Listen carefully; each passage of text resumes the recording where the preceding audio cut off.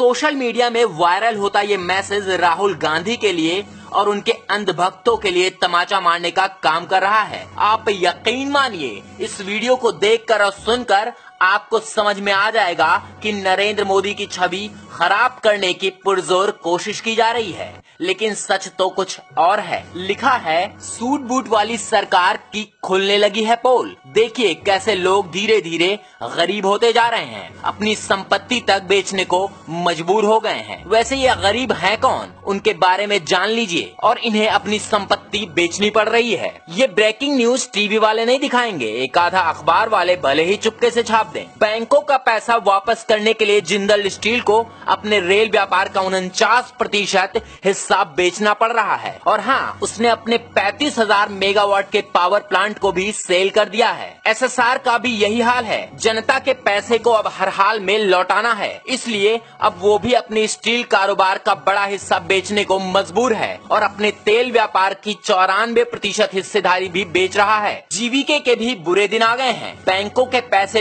लौटाने के लिए बैंगलोर और बॉम्बे एयरपोर्ट की 33 प्रतिशत हिस्सेदारी बेच रहा है और सड़क से जुड़ी अपनी पूरी संपत्ति को सेल पर लगा दिया है। डीएलएफ का तो हाल मत पूछो। दिल्ली का भव्य साकेत मॉल तक बेचने की नौबत आ गई है और अपने रिटेल और भूमि संपत्ति में से 40 प्रतिशत हिस्सा बेच रहा है। जेएमआर ने highway project South African coal mine Istanbul airport और सिंगापुर पावर प्रोजेक्ट का 70 प्रतिशत इंडोनेशिया के दो कोयला खादानों को सेल पर लगा दिया है। JP group UltraTech Yamuna expressway और जेएसडब्ल्यू में अपनी पूरी हिस्सेदारी बेच रहा है। टाटा भी नहीं बचे। इन्हें यूके में कोरस स्टील प्लांट बेचना पड़ रहा है। धमरा पोर्ट भी बेच रहे हैं। दक्षिण अफ्रीका में नियोटिल बेच रहा है। बॉम्बे में ज़मीन तक बेचनी पड़ रही है। लांसो, आंध्रा में अपना बिजली उत्पादन यूनिट बेच रहा है। वीडियो वीडियोकान छह सर्किल में अपना टेलीकॉम स्पेक्ट्रम बेचने को मजबूर है। मेंजाबिक में तेल संपत्ति भी बेच रहा है। रेनुका सुगर ब्राज़ील पावर चीनी और बायोफ्यूल के कारोबार को निपटाने में जुटा है। सहारा समूह की छियासी संपत्तियाँ बिक रही हैं। फार्मूला वन का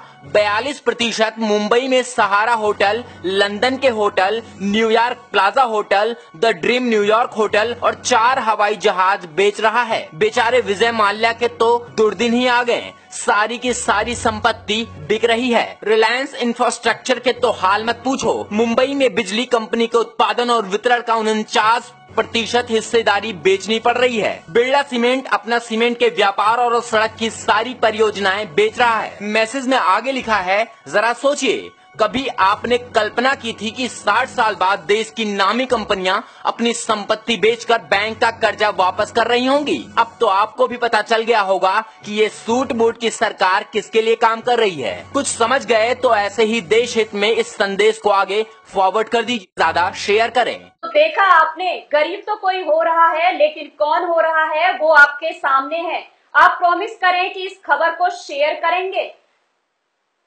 अरे, आपने अभी शेयर नहीं किया। प्लीज़ आप इसे शेयर करें, क्योंकि हम हमेशा देश हित में खड़े होते हैं और बेफिक्र भारत माता की जय बोलते हैं। ऐसी ही सच्ची खबरों को देखने के लिए बने रहिए हमारे साथ और देख